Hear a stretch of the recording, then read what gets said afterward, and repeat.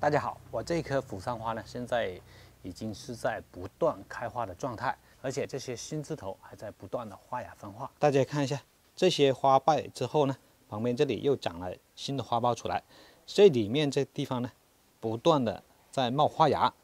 那么我们如何养护才能达到这种效果呢？那肯定脱不了给它施肥。我给这棵扶桑花施肥的话呢，一般分为两种。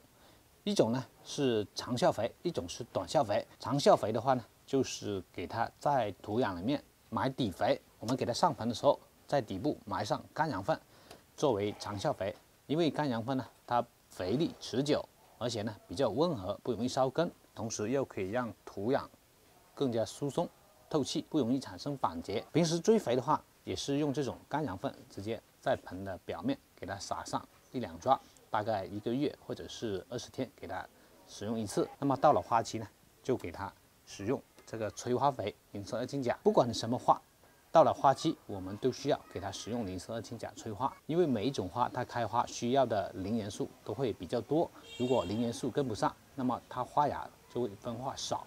到了花期，我们使用磷酸二氢钾的时候呢，最好同时。给它进行控水，每次等到这个土壤完全的干透了，叶片有点出现缺水的状态，我们再用磷酸二氢钾按照一比一千的比例兑水给它浇灌土壤，同时呢给它喷湿叶片。给它喷湿叶片的话呢，我们可以五天给它使用一次都没有关系，因为不但可以给它补充磷元素，还可以增强它的叶片光合作用，又不容易引起烂根。同时又可以给它供水。我们讲这个扶桑花，想要它开花多，达到这种开花不断的效果，就必须要把握好我们的养护方法。好了，这一期就跟大家分享到这里，我们下一期再见。